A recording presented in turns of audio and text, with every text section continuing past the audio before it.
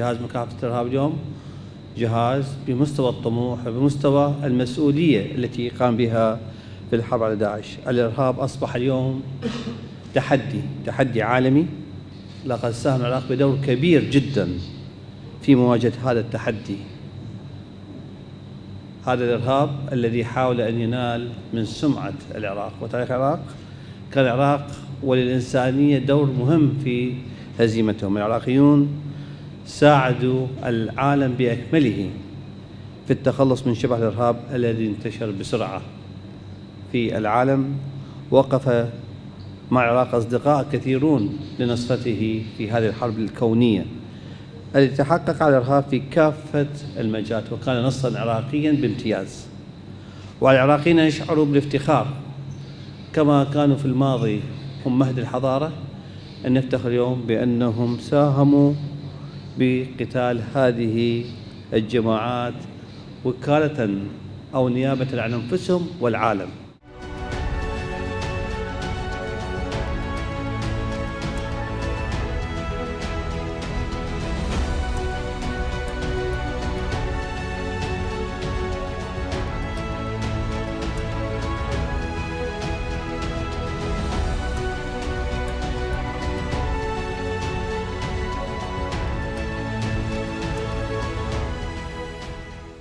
وبفضل جهود القوات الأمنية كافة التي دعمت جهاز مكافحة الإرهاب بهذا الدور كأجهزة أمنية أو عسكرية وكعمل استخباري.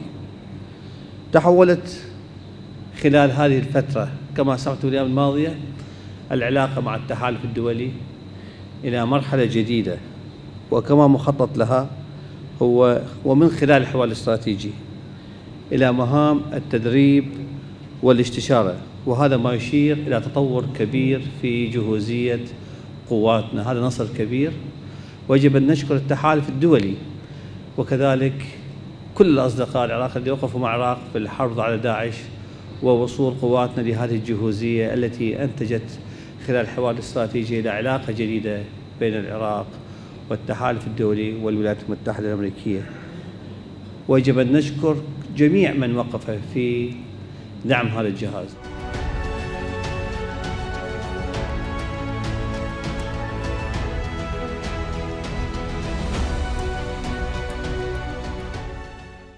ساهمت جميع القوات الأمنية العراقية من جيش وشرطة اتحادية وحشي الشعبي وبشمركة وغيرها في هذا الإنجاز الكبير إنجاز النصر. ولكن كانت هناك خصوصية بارزة لجهاز مكافحة الإرهاب حيث أن اختصاصهم الرئيسي هو مكافحة هذا العدو. وقامت هذه القوات وهذا الجهاز الوطني الشريف بدور كبير وبارز جدا في درع عصابات داعش وما زالت تقوم. هذه الجماعات بمحاولة حصول موضوع قدم ولكن أجهزتنا تكون لها بالمرصاد في كل يوم. أنجزنا انتصارات كبيرة في الأشهر الماضية وانهينا وجود ما يسمى بولاية دجلة خلال عمليات السير الجارف التي قامت بها أبطال قواتنا المسلحة وجهاز مكافحة الإرهاب وكذلك قتلنا ثاني أكبر شخص في هذا التنظيم تنظيم داعش ضمن العشرات من القيادات الكبار والمئات من هذه الجماعات. نحن اليوم أمام أنواع أخرى من الإرهاب المتمثل بضبط الحدود والمنافذ والفساد ومكافحة السلاح المنفلت ومنع أي تدخلات خارجية بالشأن العراقي. كل هذه الجهود تقوم بها الحكومة هو امتداد لعملياتكم البطولية في مكافحة الإرهاب. أثني على جيشنا العراقي البطل. أثني على الحشد الشعبي. أثني على قوات الباشمركة. وأثني على كل أجهزة الشرطة الاتحادية جهاز الأمن الوطني وجهاز المخابرات اللي كان دور فعال في إسناد هذه العمليات ودحر هذه الجماعات.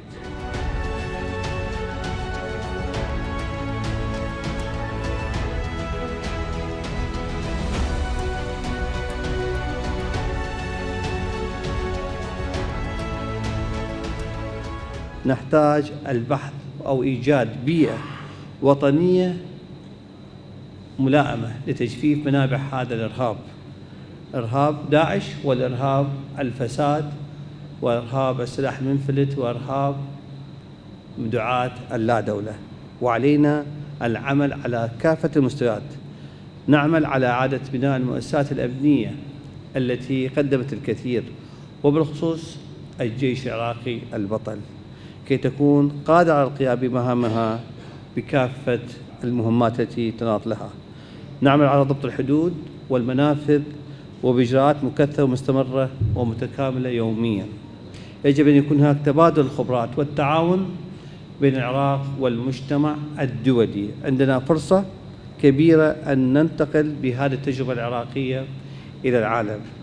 يأتي هذه كلها ضمن جهود تقوم بها مؤسساتنا ويجب أن نحافظ عليها وننطلق نحو المستقبل. أشكر جميع الأجهزة الأمنية التي تعمل على عودة العراق وإعادة دور العراق التاريخي في المنطقة وفي العالم. في نهاية هذه الكلمة هني الجميع بقرب شهر رمضان المبارك عسى أن يكون هذا الشهر الكريم الفضيل. رسالة سلام للجميع وشكرا جزيلا.